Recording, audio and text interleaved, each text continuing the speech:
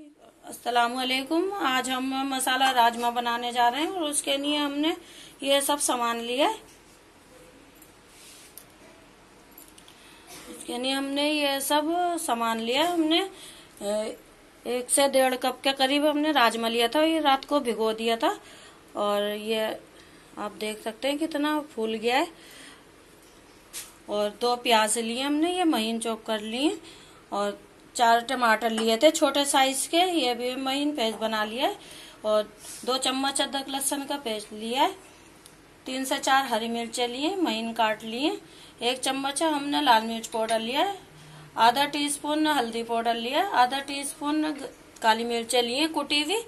और आधा चम्मच हमने चाट मसाला लिया है आधा टीस्पून जीरा पाउडर लिया है भुना हुआ, पिसा हुआ। और आधा चम्मच हमने ये गरम मसाला लिया है गरम मसाला पाउडर और एक चम्मच धनिया पाउडर लिया नमक टेस्ट के हिसाब से डालेंगे। और आधा चम्मच हमने कसूरी मेथी ली है सूखी हुई। ये भी डालेंगे ऑयल डालेंगे। ये ऑयल है, सरसों का तेल लिया हमने। आप कोई सा भी यूज़ कर सकते थोड़ा सा थोड़ा सा हरा धनिया ये डालने के लिए ऊपर से। और राजमा रख देते हैं उबलने के लिए। में राजमा ये पानी साफ़ है, हमने धो के भिगोया था। इसी पानी में हम उबालेंगे। इसका मज़ा सारा इसी पानी में ही है और हमने अलग कर लिया था पानी, वो भी डाल देंगे इसमें।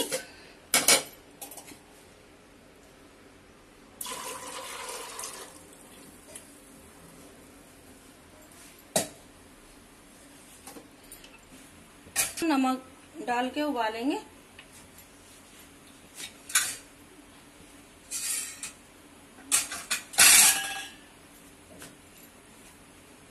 थोड़ा सा नमक डाल देते हैं, आधा टीस्पून के करीब। और एक दालचीनी का टुकड़ा डाल देंगे छोटा सा ये देखिए, दालचीनी का ज़्यादा ना डालें, एक छोटा सा टुकड़ा डाल दें बस। की खुशबू हो जाएगी थोड़ी सी हमने छोटा सा दालचीनी का टुकड़ा भी डाल दिया, ये आप देख सकते हैं। अब हम इसे सीटी लगाते हैं, छह से सात सीटी आएँगी इसमें, और फिर दिखाते हैं आपको। पहले इसे तेज आँच पे पकाएँगे और फिर हल्का कर देंगे। और अगर चाहे आपको ज़्यादा गला हुआ चाहिए तो आप ज़्यादा सीटी लगा सकते हैं। और खड़ा खड़ा सा चाहिए तो थोड़े कम लगा सकते हैं। देखिए, दिखाते हैं। इतना ये उबलेगा, इतना हम ग्रेवी की तैयारी कर लेंगे। तो हम ग्रेवी की तैयारी कर लेते हैं। इतने हमारा राजमा उबलेगा और हमने ये कढ़ाई रख दी और इसमें तेल डालेंगे।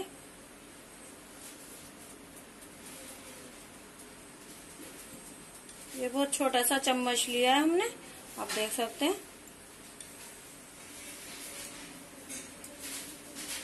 सरसों ऑयल है। हमने एक छोटा बाउल पूरा डाल दिया तेल का। आप कम डालना चाहें, कम डाल सकते हैं। ये देखिए, हमने एक ये छोटा बाउल है, ये डाल दिया इसमें। इसमें बड़े डेढ़ चम्मच के करीब तेल आता है।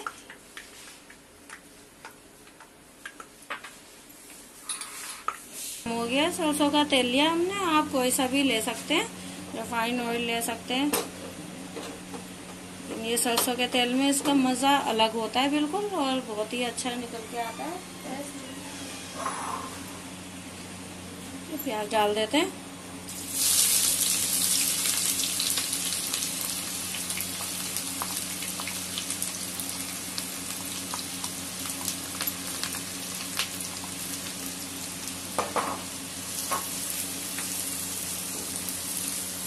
हम कच्चे धनी का तेल यूज़ करते हैं। इसीलिए वो ऐसा होता है तेल। ज़रूरत बहुत होती है, लेकिन फ़ायदा करता है।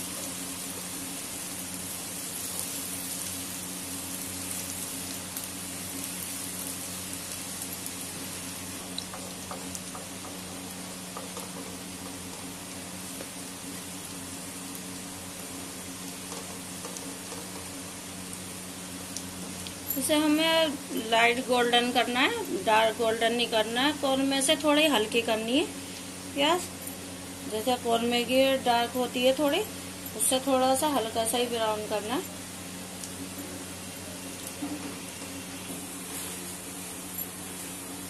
देखिए, प्याज हमारी गोल्डन हो गई है। आप देख सकते हैं थोड़े पास से। ये पीली पीली यूँ दिख रही है क्योंकि सरसों के तेल में हमने इसे तला है, इसीलिए। और इसमें जरा सा इसे रोकने के लिए हम थोड़ा सा पानी डाल देंगे। हमने एक चौथाई कप के करीब पानी लिया है, ये डाल देंगे। पानी ध्यान से डालें, ये उड़ता है एकदम से। और इससे क्या होगा, प्याज और गोल्डन तो हो गई है और नरम हो जाएगी। और बिल्कुल ग्रेवी की शेप में आ जाएगी।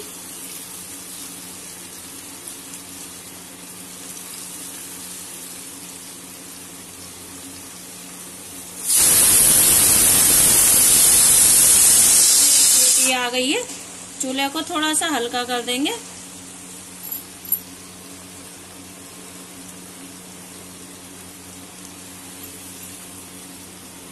जब तक हमारी ग्रेवी तैयार होगी तब तक राजमा भी उबल जाएगा। अगर चाहे आपके पास टाइम नहीं हो तो आप सुबह में भिगो सकते हैं। थोड़ा गर्म पानी लेके उसमें खाने वाला मीठा सोडा डाल दें, थोड़ा सा, और उसमें भिगो सकते हैं। जल्दी बनाने के लिए अगर चाहे रात को आपके पास भूल गई हो और सुबह को टाइम हो कि हाँ जी, ये पकाना है, और तो आप ऐसे कर सकते हैं।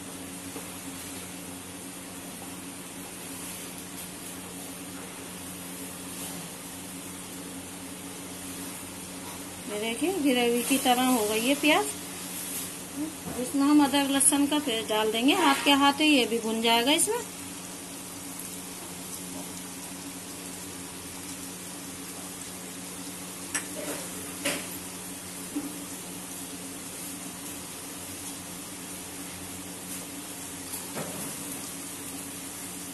गरम मसाला आप साबुत डालना चाहें तो साबुत डाल सकते हैं। हमने पिसा हुआ ले लिया। पिसा का अपना अलग मज़ा होगा। साबुत का तो ये खाने में नहीं आता, फेंक जाता है सब निकल निकल के। सब निकाल ही देते हैं। यह सब इसी में ही मज़ा, सारे फ्लेवर इसमें ही रहेंगे, उसके मज़ा इसी में ही रहेगा।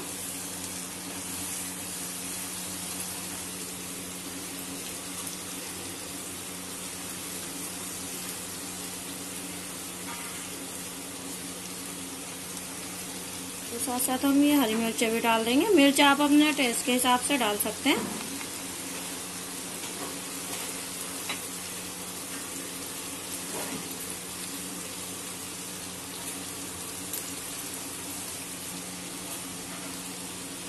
देखिए, मसाला हमारा अच्छे से भुन गया है।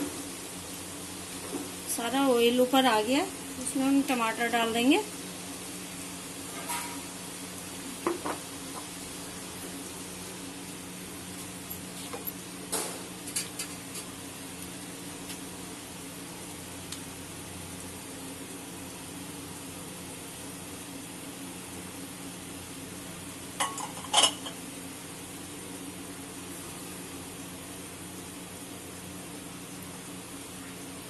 इसी के साथ साथ हम धनिया पाउडर भी डाल देंगे इसमें।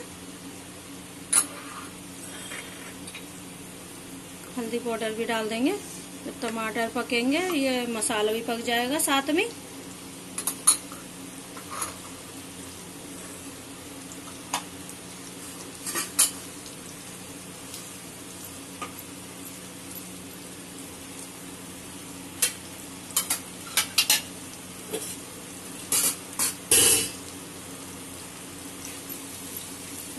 हमारा भुनने लगा है, ये अच्छे से पकने लगे हैं टमाटर।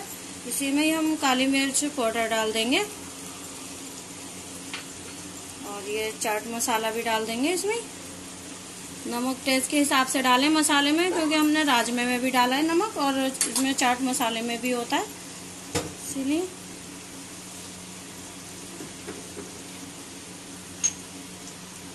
इसी के साथ साथ लाल मिर्च पाउडर भी डाल देंगे।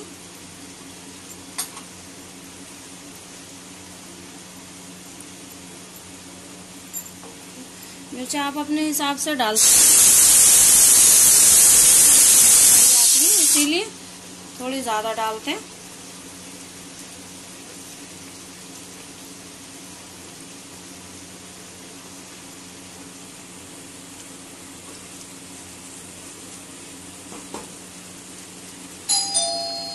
देखिए ऑयल ने सब ऑयल छोड़ने लगा है मसाला, आप देख सकते हैं। ये अच्छे से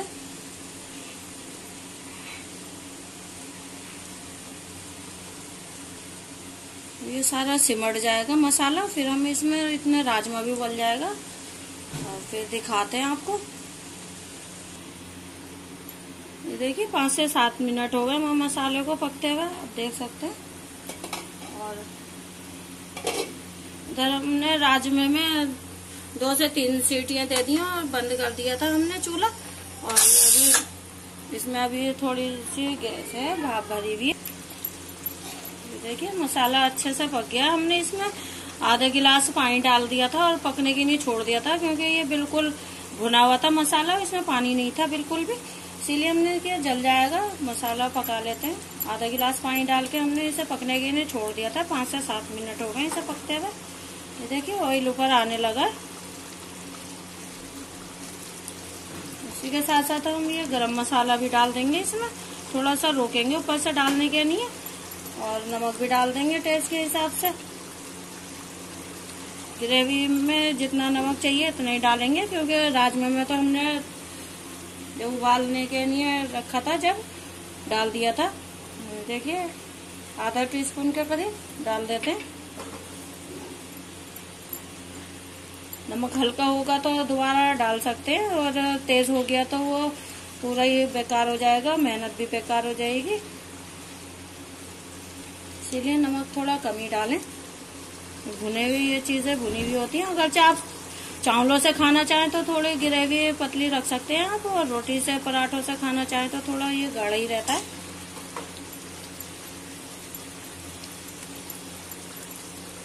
इसमें से बहुत ही अच्छी खुशबू आ रही है, और देख सकते हैं ग्रेवी इतनी अच्छी लग रही है।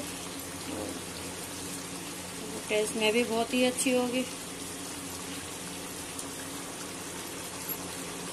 तो इसे हल्की आँच पे छोड़ देते हैं और है ना राजमा को खोल के देखते हैं।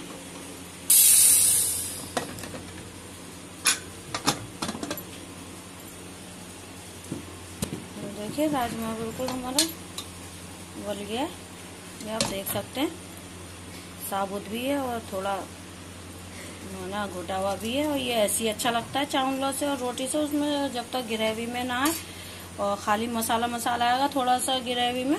चनों की जैसे छोले बनाते हैं, ऐसे आलू बनाते हैं, ऐसे थोड़ी सी इसकी ग्रेवी भी होगी तो वो अच्छा लगेगा। तो दिखाते हैं आपको मसाला भी हमारा अच्छे से भुन गया, थोड़ा सा और पकाना है।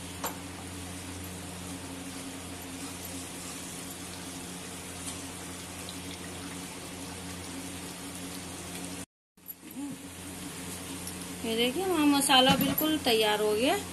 अब हम इसमें राजमा डाल देंगे।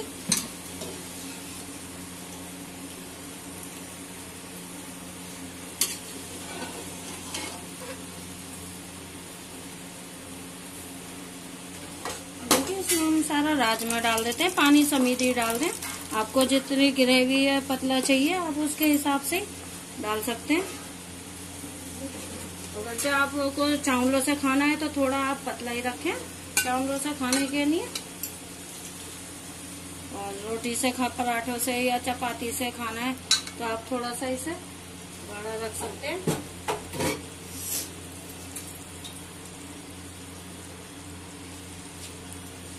देखिए कितना अच्छा लग रहा है राजमा मसाला, ग्रेवी वाला। हम थोड़ा सा पानी और डालेंगे फिर हमें ये चावलों से खाना है।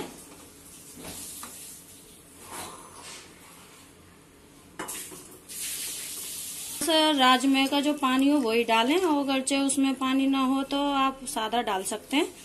और वैसे तो ये राजमे का ही पानी सही रहता है, क्योंकि सारा मज़ा तो पानी में ही होता है उसका।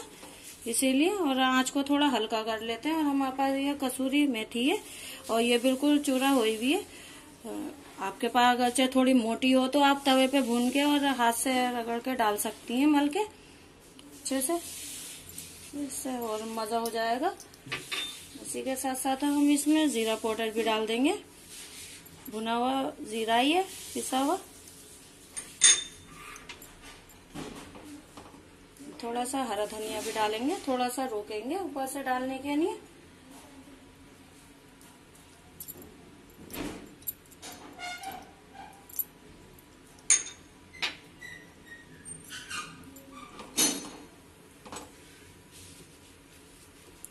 देखिए, कितना अच्छा लग रहा है ये। और देख सकते हैं कितना खूबसूरत लग रहा है। और खुशबू भी बहुत ही अच्छी आ रही है इसमें से मसाले की। आप खा के देखिए ज़रूर, लेकिन आप जब बनाएँगे, जब भी खा के देखेंगे हमारे तरीके से, आप बना के खा के ज़रूर देखिएगा। बहुत ही अच्छा और बहुत ही मज़े का ये चावलों से आप आराम से खा सकते हैं। आप मेहमान आए, उन्हें भी खिला सकते हैं। आप खुद भी घर में बना के खा सकते हैं और नमक चख लें थोड़ा सा। अगर चाहे नमक फीका लगे तो आप डाल दें। कच्चा नमक ना खाएँ। कच्चा नमक नुकसान करता है। इसीलिए ब्लड प्रेशर वालों को कच्चा नमक नुकसान करता है। इसीलिए इस टाइम चख लें तो एक उबाल आ जाएगा तो नमक पक जाएगा। ये देखिए, थोड़ा सा नमक हम और डालेंगे। एक चौथाई टी स्पून नमक थोड़ा सा इसमें हमें फीका लग रहा था। और मिर्चे वगैरह सब बिल्कुल एकदम सही है। ज़्यादा ना डालें, नहीं ओवर हो जाएगा। थोड़ी लाइट भी रख सकते हैं आप लाइट खाते हो तो। देखिए, इसमें थोड़ा आँच को स्लो करके थोड़ा सा, और इसमें एक दो उबाल पहले से ही आ रहे हैं आप देख सकते हैं। ज़्यादा उबालने की ज़रूरत नहीं है, सब चीज़ पक्की हुई है। मसाला भी पक्का हुआ है, राजमा भी पक्का हुआ है। ज़्यादा उबालने की ज़रूरत नहीं है। मैं थोड़ा सा पकाना है कि राजमे के अंदर तक मसाले चले जाएँ, सारे मज़ा चला जाए। इसीलिए ढक के एक दो मिनट के लिए हम छोड़ देंगे। ये देखिए, एक से दो मिनट हो गए पकते हुए। आप देख सकते हैं, हमने सिलो आँच पे पकने के लिए छोड़ दिया था, ताकि सारे मसाले राजमे के अंदर चले जाएँ और ये बिल्कुल तैयार हो गया। ये देखिए, ज़्यादा साबुत होता है तो वो ग्रेवी में पता नहीं चलता है, वो अलग अलग तैरते रहते हैं, बिल्कुल खड़े खड़े से। एकदम आप थोड़े से नरम, ही ना उबालें। ये देखिए, उसका मज़ा अलग होता है बिल्कुल। ये हमने नरम भी है इसमें और है ना, साबुत भी है। दोनों तरह के ही हैं, आप देख सकते हैं। ये देखिए, दोनों तरह से और ये बहुत ही अच्छा लगता है। तो इसमें भी, ग्रेवी में भी पूरा मज़ा आ जाता है राजमे का। और जो साबुत साबुत रखते हैं, उसमें ग्रेवी में मज़ा नहीं होता है खाली। जो मसाले का मज़ा होता है, वही आता है खाली। इसीलिए हमने थोड़े से नरम, थोड़े खड़े ऐसे रखे थे और दिखाते हैं डिश में निकाल के। चूल्हे को बंद कर दिया हमने। देखिए, हम डिश में निकाल के दिखाते हैं। हमारा राजमा बिल्कुल तैयार हो गया, आप देख सकते हैं।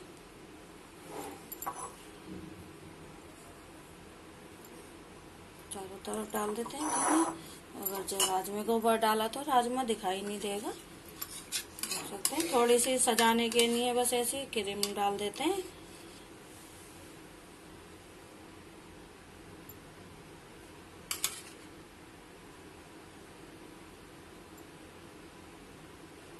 हमने ये मलाई का ये क्रीम वाला तो राजमा बनाया नहीं है, लेकिन खूबसूरत लगे इसीलिए हमने ये डाल दिया ऊपर से। वहाँ पास थे तो इसने डाल दिया, अमूल की क्रीम डाली है हमने।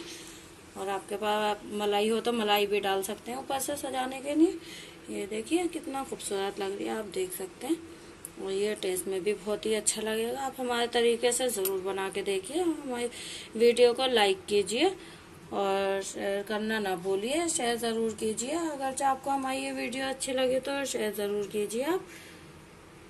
सब्सक्राइब करना ना भूलिए, ताकि हम जो भी नई वीडियो डालें आपके पास सबसे पहले पहुँचे। इसीलिए बेल आइकन दबाना ज़रूरी है। और आप हमारी वीडियो को, रेसिपी को ऐसे ही पसंद करते रहिए और शेयर करते रहिए, ताकि ये और आगे तक लोगों के पास जाए और वो भी कुछ सीखें। और हमें भी कुछ मिले कि हाँ जी, हमें ये बनाना है, ये करना है तो ये ऐसा चाहिए तो कमेंट करके ज़रूर बताइए और फिर मिलते हैं अपनी नई रेसिपी के साथ। जब तक के नहीं अल्लाह हाफिज़।